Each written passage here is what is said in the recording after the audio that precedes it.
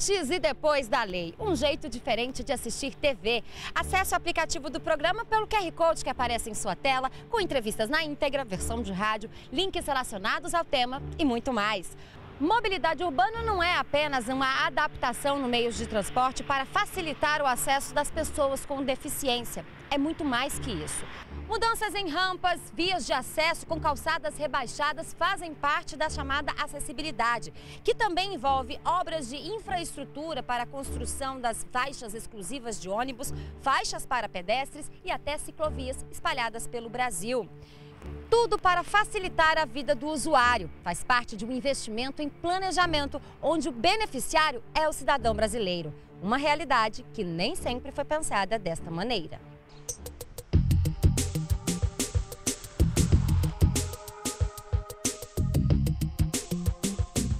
Se vamos falar de mobilidade urbana no Brasil, ou seja, as condições de deslocamento da população pelas cidades, temos que saber como ela foi desenvolvida.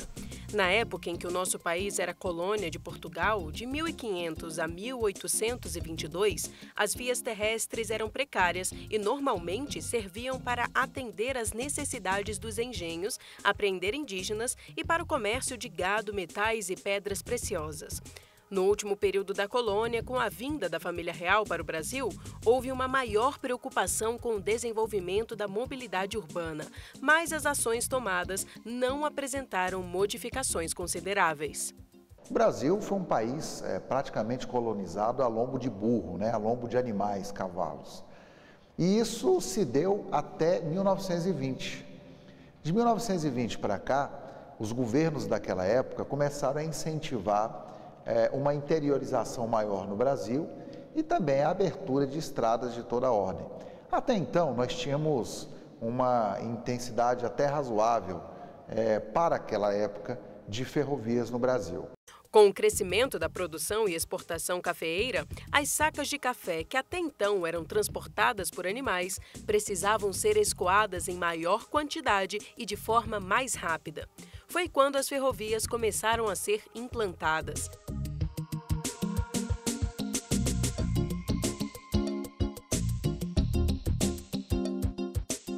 Mas, enquanto as linhas férreas cresciam cada vez mais, as rodovias demoraram para ganhar força e investimentos.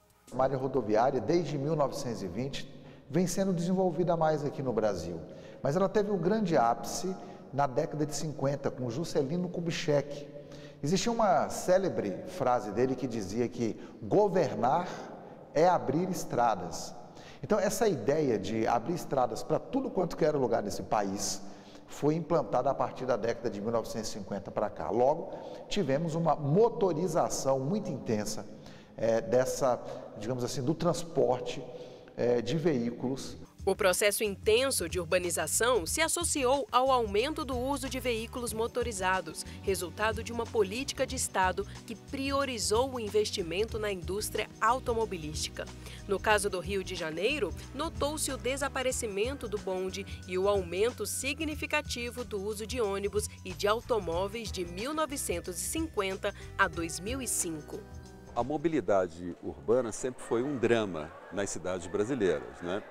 Um drama que nos últimos anos aumentou porque a frota de carros particulares aumentou de uma maneira estúpida, né? inclusive com uma velocidade de crescimento dos carros maior do, do que o crescimento da população humana nas nossas cidades. Né? Então, Sempre foi um drama na cidade brasileira a questão do transporte coletivo, especialmente. O aumento do fluxo de automóveis elevou o custo de manutenção das estradas. Para reduzir o impacto nas contas do governo federal, foi criada em 1995 a Lei 8.987, que autoriza empresas privadas a realizarem e administrarem serviços e obras públicas. Mas o número crescente de veículos desencadeou, além de gastos, poluição. Para preservar o meio ambiente, é preciso desenvolver o transporte coletivo, meios de locomoção sustentáveis, como a bicicleta, e calçadas adequadas para pedestres e deficientes, que por muito tempo ficaram esquecidos. Sempre foi um drama a desconsideração com o pedestre e com o ciclista. Né? Então, o pedestre, o ciclista, o cadeirante, a pessoa que é portadora de necessidades especiais, sempre, é, sempre foi um contingente de pessoas é, desconsiderado, né? eu diria até desprezado pelas políticas urbanas no Brasil.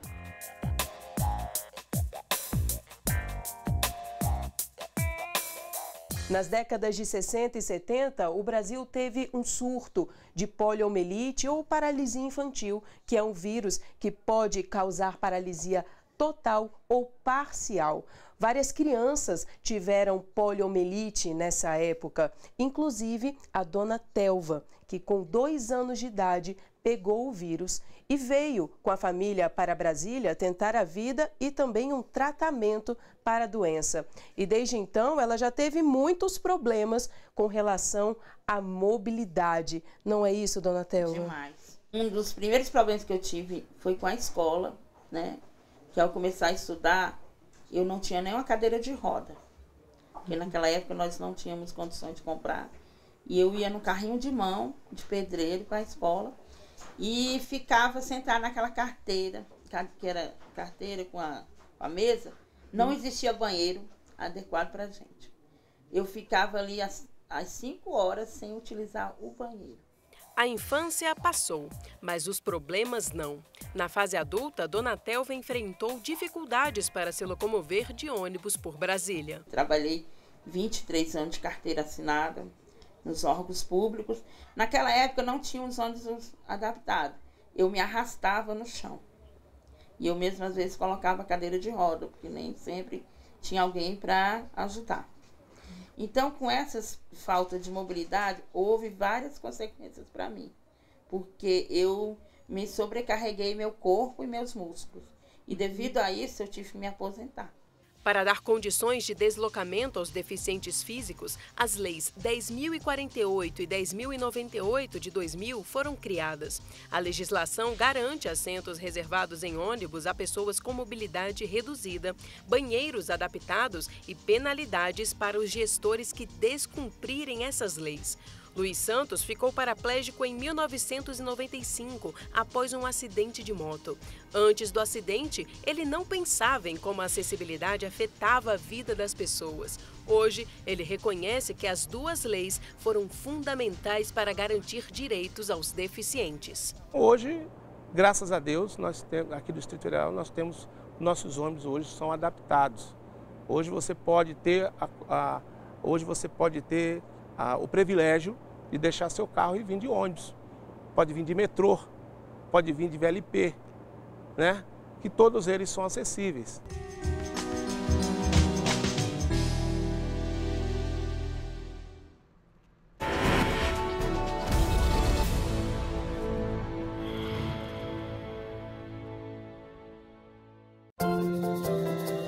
Informação precisa, segura, confiável e direto da fonte. Na página da jurisprudência do Superior Tribunal de Justiça, você encontra tudo isso e muito mais.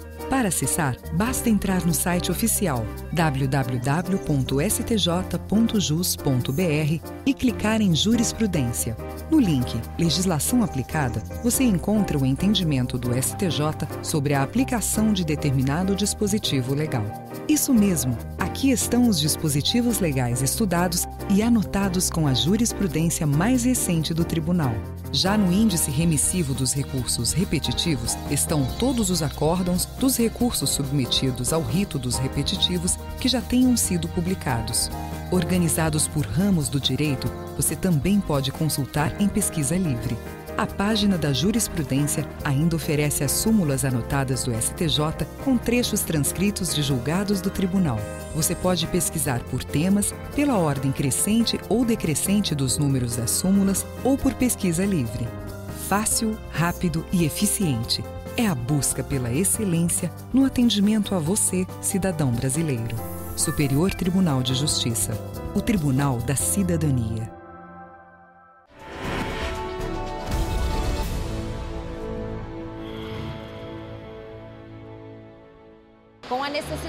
De expansão das grandes cidades, foi preciso estudar e planejar espaços ainda não explorados. E foi nessa década que surgiu um conjunto de regras mais amplas para facilitar a acessibilidade. O Sistema Nacional de Mobilidade. Uma série de medidas criadas não só para melhorar as condições de acesso aos meios de transporte, como de uma cidade inteira e de um país todo. No decorrer dos anos, vimos que a mobilidade urbana brasileira se desenvolveu de forma lenta. Apesar de algumas leis terem sido criadas para garantir investimentos e melhorias para a área, uma lei específica sobre o assunto só surgiu em 2012, a 12.587, após 17 anos de tramitação no Congresso Nacional. Dois pontos importantes. O primeiro ponto aqui a citar sobre a 12.587, é a tentativa de desmotorização da, a, das rodovias brasileiras, principalmente do ponto de vista da mobilidade urbana das cidades. Primeiro ponto é a questão de incentivo às ciclovias, é, com bicicletas, né, para você utilizar bicicletas. É, um outro ponto importante é a questão do investimento em transporte coletivo. Então, você procurar ter um transporte coletivo mais eficaz. O desenvolvimento urbano eh, ele traz eh, benefícios e traz problemas. Né? Isso é uma visão mundial né? que você tem que pensar a cidade de uma forma integrada. Ou seja, no caso da mobilidade, antes se tinha uma visão mais de pensamento da área de transporte, né? transporte coletivo, transporte individual.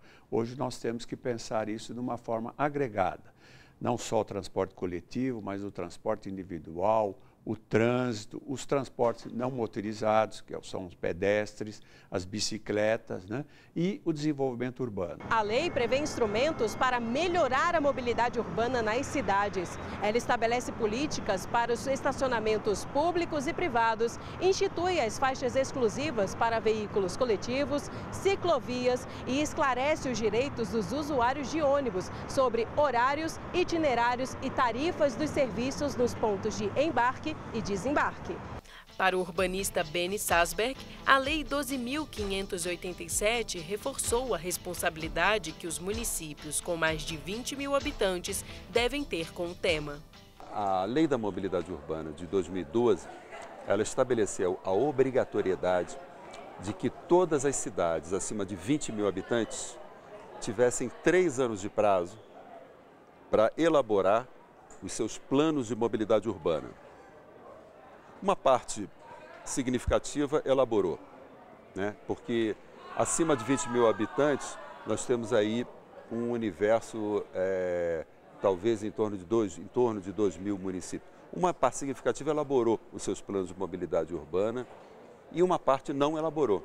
Os planos de mobilidade urbana devem incorporar os princípios da mobilidade sustentável com foco no transporte coletivo e não motorizado. De acordo com a lei, os municípios que realizarem o plano vão continuar recebendo recursos orçamentários federais destinados à mobilidade urbana.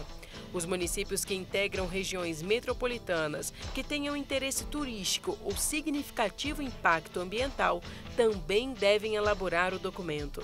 Além disso, para o Ministério das Cidades, a legislação trouxe mecanismos para que o governo e instituições privadas investissem mais no setor. O investimento que nós estamos fazendo agora, né, é, que eu calculo aí entre 35 e 40 bilhões de reais nestes anos, né, em projetos já concluídos, outros em desenvolvimento, outros que nós estamos fazendo projetos, né, é, para tentar ter esta, esta melhoria da mobilidade urbana. A Lei 12.587 está fundamentada no princípio da acessibilidade universal, ou seja, o direito de acesso a edificações, calçadas, ônibus, banheiros.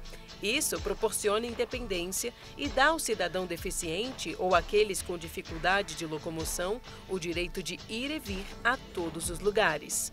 Garantias do ponto de vista da própria mobilidade, da própria questão da acessibilidade, da questão da segurança, da questão da educação, do trabalho, das tecnologias assistivas. por exemplo, a questão de órteses, próteses, a questão da habilitação e da reabilitação. Então a legislação é boa. Serleide Campos Ribeiro teve poliomielite na infância e uma das sequelas da doença foi a paraplegia. Eu morava no interior de Minas, Monte Carmelo, uma cidade lá de Minas Gerais. E lá você era bem interior mesmo, assim, bem interior de Monte Carmelo. E a gente não tinha recurso, não, não sabia o que era. Vieram descobrir em Campinas, São Paulo, quando falaram para o meu pai que eu tenho que eu tenho paralisia infantil. Mesmo com as dificuldades que enfrenta no dia a dia, ele reconhece que a lei trouxe vários benefícios aos deficientes. Esses prédios antigos hoje você vê pelas portas dos banheiros, né? São bastante pequenas, né? E agora com os novos prédios, com as leis que aí a lei está valendo, né? Hoje é obrigado o cara a entregar uma obra, se não tiver ali acessível, ele não pode entregar, né? Eu acho que depende também da gente, enquanto cidadão, ficar cobrando, olha, está construindo ali, vamos lá ver se está tudo bem, né? E exigir, né? Acho que a lei está aí para a gente cobrar e, e eles têm que cumprir.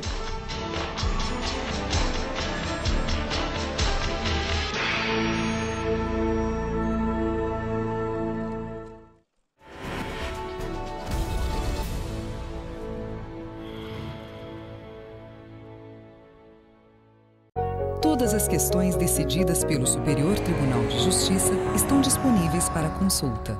Basta entrar no site oficial, que tem informações completas e atualizadas, e clicar em Jurisprudência. No portal da Jurisprudência estão concentradas todas as informações referentes à jurisdição do STJ. Você pode pesquisar apenas digitando o tema de seu interesse ou refinando sua busca com filtros mais específicos. E não é só isso o STJ inova mais uma vez e disponibiliza uma série de pesquisas prontas para consulta. Nessa página, você pode procurar por temas jurídicos, casos de grande repercussão e ainda por temas julgados nos recursos repetitivos.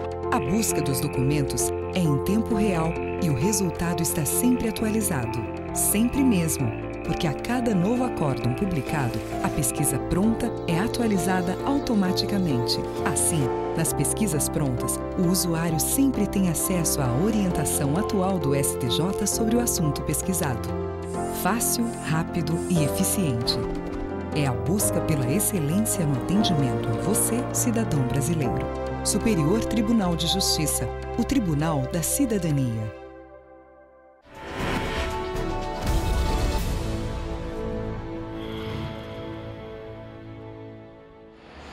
Apesar de todos os esforços para que a lei de fato seja cumprida, é preciso fiscalizar. E a fiscalização não é papel só do Estado, mas também das empresas de transporte que prestam um serviço que é resultado de uma concessão pública.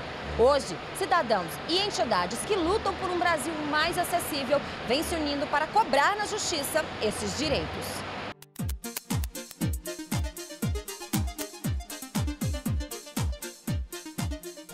Nós temos, como sociedade civil organizada, a tarefa de cobrar dos governos, sobretudo municipais, a colocação em prática da lei da mobilidade urbana para resolver esse drama no nosso país, porque a mobilidade urbana ela é perversa para toda a população quando ela não funciona, mas especialmente para a população mais pobre, que vive nas periferias, em locais distantes, que gastam quatro, cinco horas por dia de tempo para deslocamento.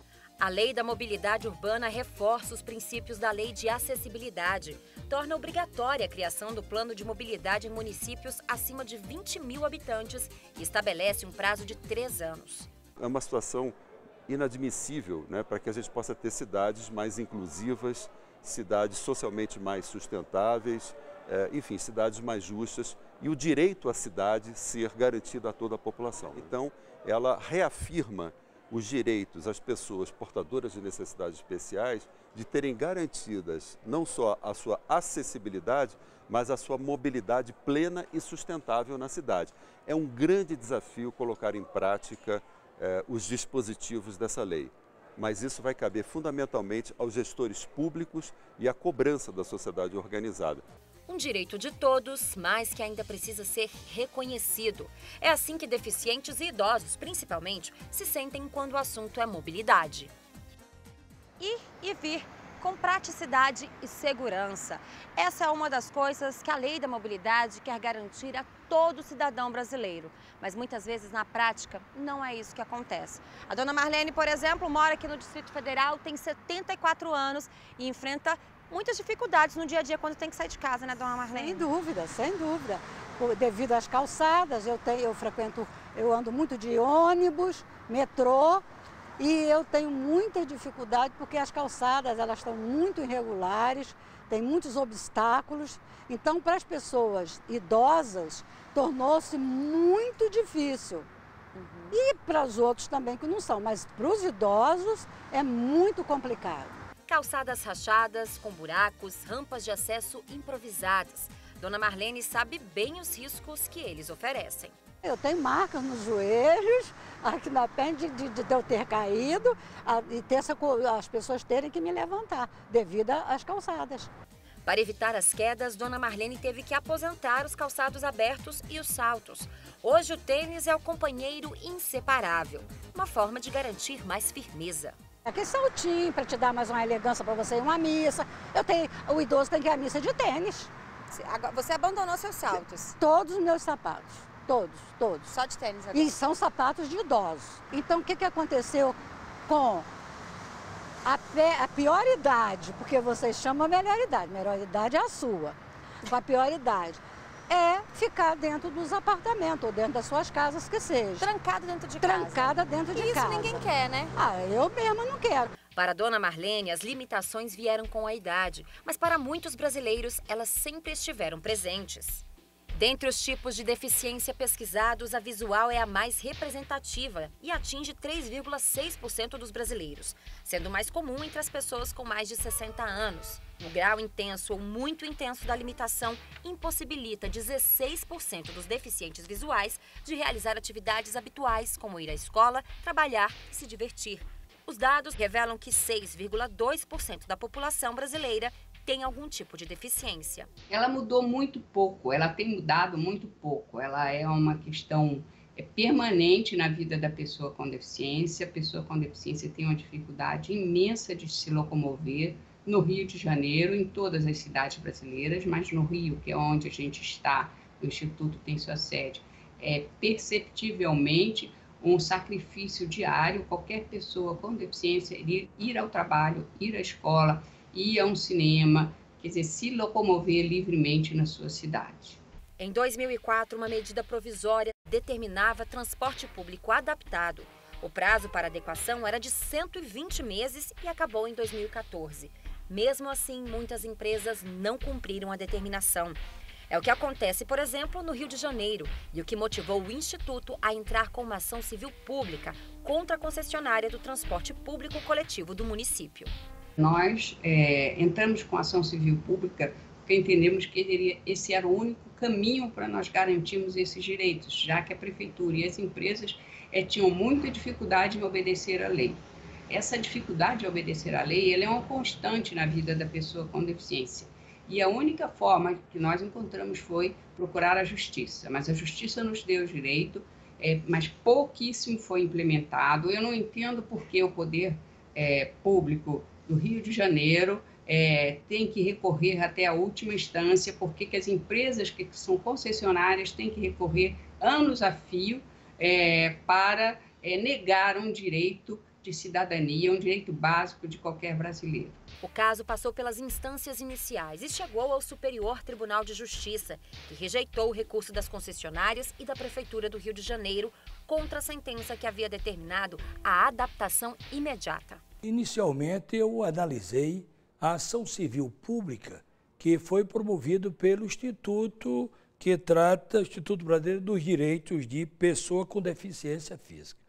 E o Instituto disse que não foi devidamente obedecido os critérios com relação aos direitos das pessoas que sofriam de deficiência física. Com relação aos locais nos ônibus, as cadeiras não tinham locais adequados. E, evidentemente, também estava sendo desrespeitado o próprio direito do consumidor. Durante o processo, as empresas afirmaram que a adaptação seria feita de forma gradativa, alegando questões financeiras, o que também não foi aceito pelos ministros do STJ.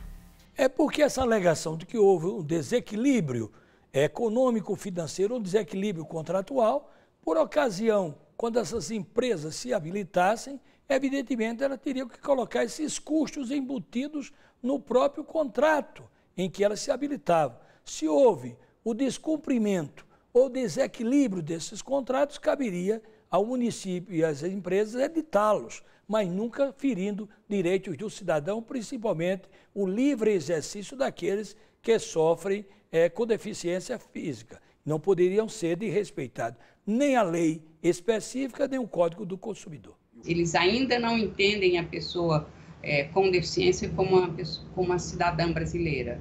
É, eles entendem que a pessoa com deficiência pode ter direito a, a uma esmola, a um favor, mas não a direitos. Eu acho que esse olhar é que precisa ser mudado. Apesar de constantes ações na Justiça para garantir o cumprimento das leis, a superintendente do Instituto acredita que a situação pode melhorar.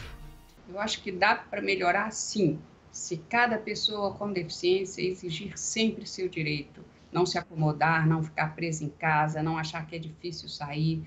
É, é preciso é, modificar lentamente essa ação é, da própria pessoa com deficiência em exigir seus direitos. É, porque a questão da pessoa com deficiência é quase uma questão invisível na sociedade brasileira. Tem uma repercussão muito positiva, porque nós estamos tratando é, no campo das igualdades, independente de gênero, independente das condições é, de deficiência física ou não, porque todos nós somos iguais perante a lei e temos que ter o mesmo tratamento, os mesmos sonhos, as mesmas esperanças e as mesmas condições que são asseguradas pela nossa Constituição Pátria.